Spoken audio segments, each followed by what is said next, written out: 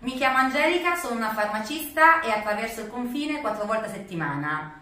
Penso che le norme sui diritti del lavoro dovrebbero essere armonizzate tra i paesi frontalieri per evitare disparità e garantire che i lavoratori godano degli stessi diritti e delle stesse protezioni indipendentemente dal paese in cui lavorano. Io voglio un'Europa che garantisca queste condizioni e mantenga libera la circolazione dei lavoratori in un mercato del lavoro equo.